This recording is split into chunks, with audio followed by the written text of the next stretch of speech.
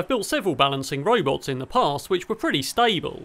These typically use an inertial measurement unit which consists of a solid state gyro and a solid state accelerometer. The data from both these sensors is mixed together to give us a reliable measurement of the absolute angle of the robot, so we can drive the wheels and compensate accordingly to make the robot balance. But can we use a physical spinning gyro to make a robot balance? I've got a simple spinning gyro here which you wind a string around and pull to make it spin, and it seems to stand up okay. But what happens if we try to push the gyro off balance?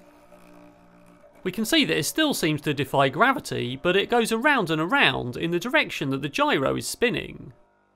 As the gyro slows down, it leans over more and more and more, but it still goes around in the direction it's spinning until it doesn't have enough momentum anymore and it just falls over. And this spinning around is called gyroscopic precession, and this is a combination of the two forces, gravity pulling down on the edge of it and the already spinning gyro, and that gives us the product of both forces.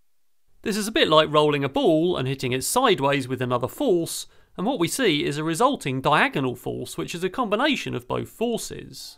And that's why we see this gyroscopic precession force which is the combination of gravity pulling down on the edge and the direction of the spinning gyro.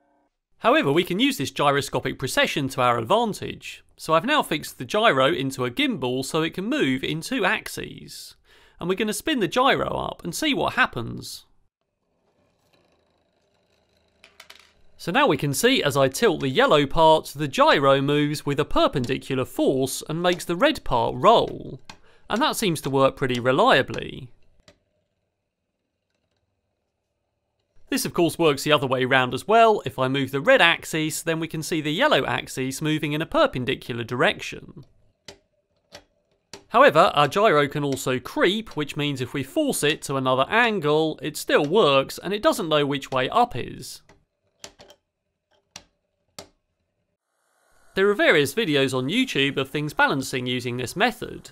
So here we can see the gyro can move in tilt, but it has quite a lot of inertia because it's heavy, so it tries to stay in place.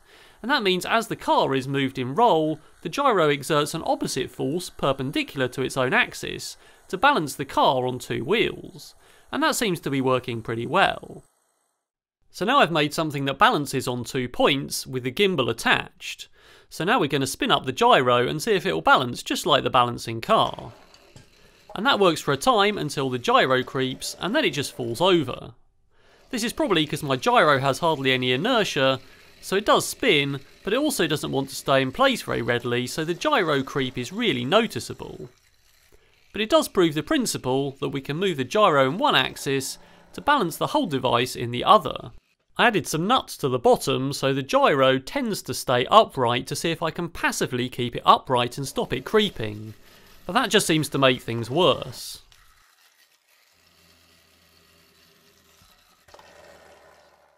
But what about if we could control the tilt of the gyro actively with a motor and use that to exert a force on the roll of the whole device?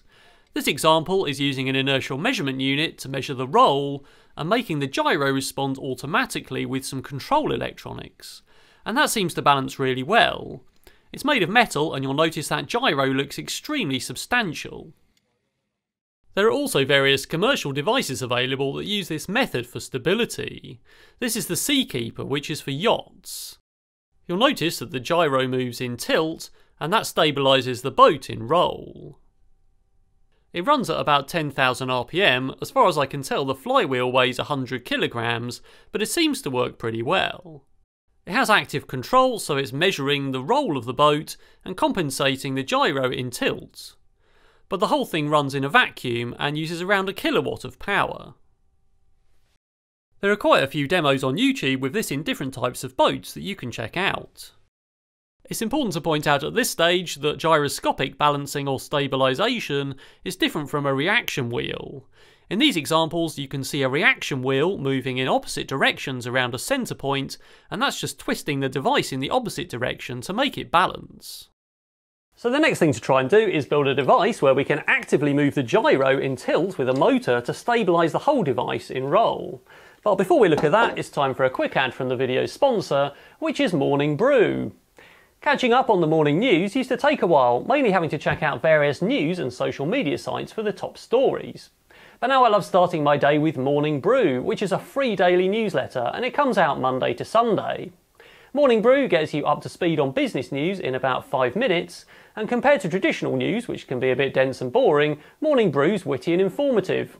This week I found out about Facebook's new social audio initiative, which sounds like they're going after Clubhouse to me, and also found out that McDonald's are partnering with K-pop band BTS globally, so wherever you are in the world, you'll be able to order a BTS meal, which by the way is apparently 10 McNuggets with sweet chili and Cajun dipping sauces, medium fries and a medium Coke. So there's no reason not to sign up to Morning Brew if you're interested in business, finance or tech. It's completely free and takes less than 15 seconds. Use the link in the description to subscribe to Morning Brew today. Right, it's time to 3D print some more parts, I guess.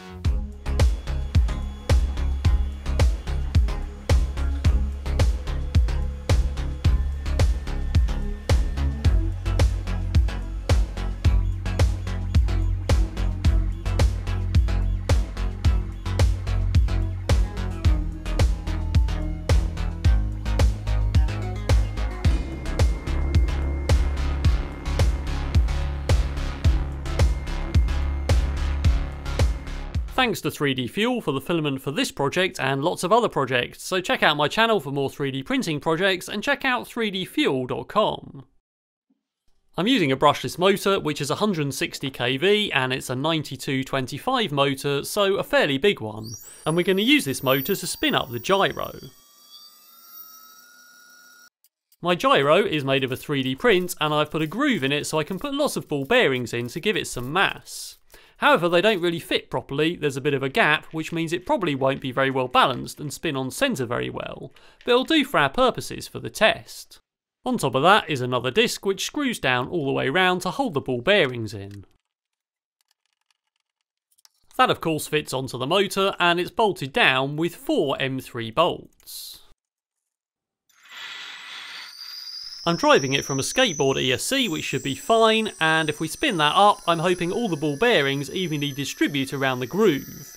So you can see there's some wobble but it's not looking too bad. As we get faster and faster that wobble should get less noticeable but you can still see it walking slightly so it is spinning slightly off centre.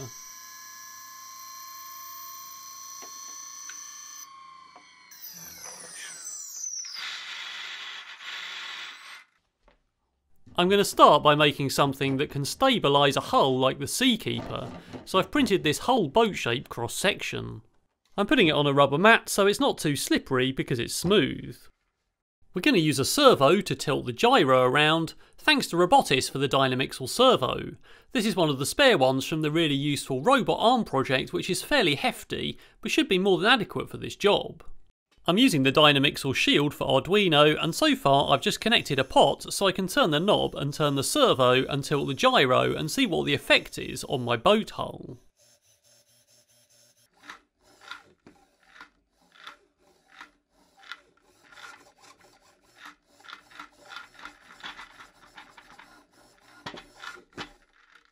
So obviously my boat hull will roll freely side to side and that seems to be pretty free to move and obviously there's quite a lot of oscillations there until it settles. And of course my gyro will move in tilt which is in the opposite direction and I should be able to exert a force on the roll once the gyro is spinning. It takes a little bit of time to get up to speed, but it gets there eventually. And by the way, I added some pieces of metal bar on the left there to compensate for the weight of the gyro so it naturally settles in the middle and things look evenly balanced.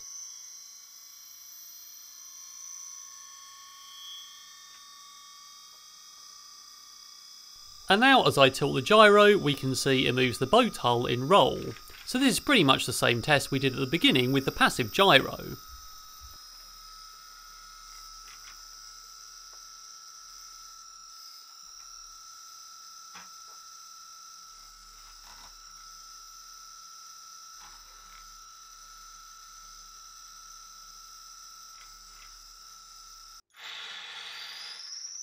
But with the gyro locked in place, we can see it does absolutely nothing to stabilise the roll of the boat hull. If I try and roll it, we can see we still get lots of oscillations, and that's still really unstable.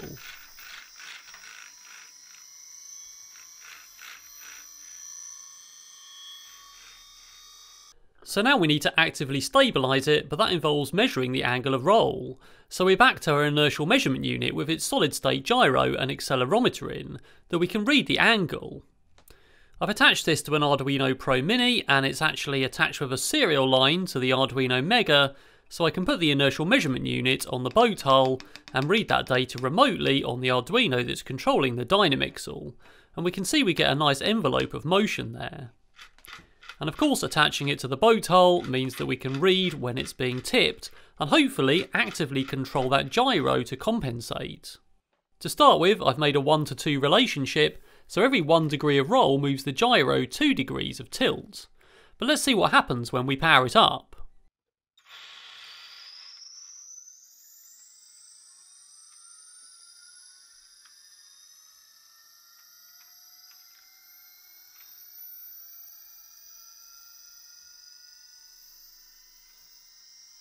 So we can see it kind of dampens it tipping back, but it doesn't kill the oscillations, and if I get it wrong, then it makes more and more oscillations as the gyro's constantly trying to catch up, but doing it a bit late, and actually causing the roll to be much worse as the gyro moves in tilt.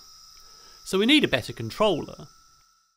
So we're going to use a PID controller that I'd use in most balancing robots, and you can read all about this on Wikipedia.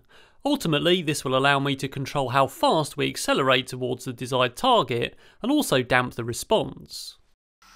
I'm tuning this manually by trial and error and it's very easy to get it wrong. In fact this has made it much much worse than just having a linear relationship.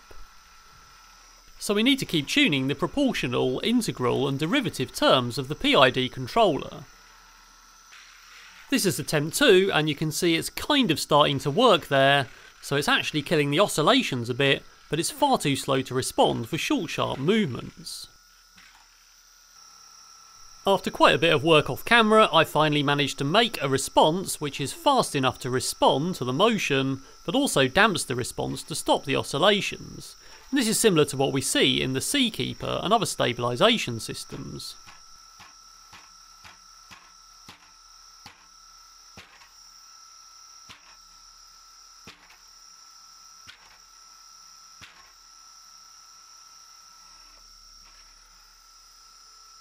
And just to remind ourselves what it's like with it switched off, obviously that's much freer moving and oscillates all over the place, even with the rubber mat in place.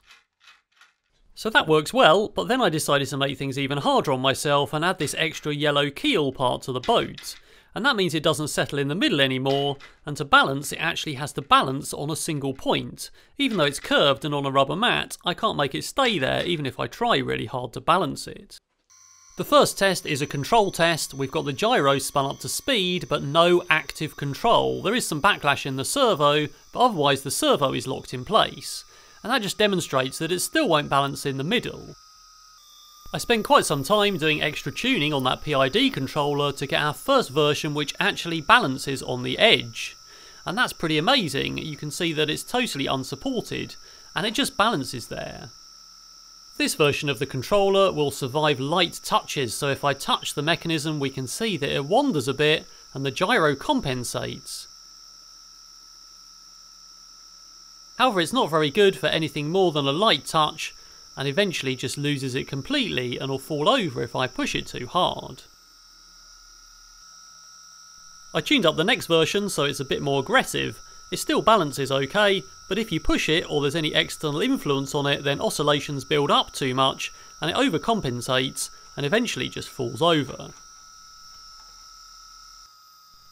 This is my final tuning for now, we can see it balances perfectly well and it'll also be fine with an external influence of quite some force.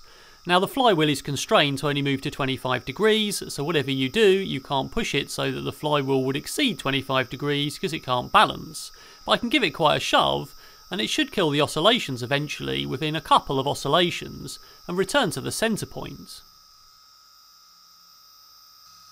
We could probably tune this up to be slightly more responsive, however there are a number of issues with the setup. Namely that the gyroscope doesn't have quite enough mass in it, if it had double the ball bearings it would be much more responsive. Also, you can see the inertial measurement unit circuit board getting shaken around as the gyroscope spins off centre, so my inertial measurement unit data that it relies on is probably quite noisy. But nonetheless, I'm pretty happy that I've actually managed to make that balance and tune up my PID controller with the right parameters. And for anyone interested, these are typical parameters you'd find on a two-wheel balancing robot, where the D term is roughly 0.1 of the P term and the I term is 10 times bigger. I will be publishing the code and the CAD for this if you want to build one and try retuning it yourself.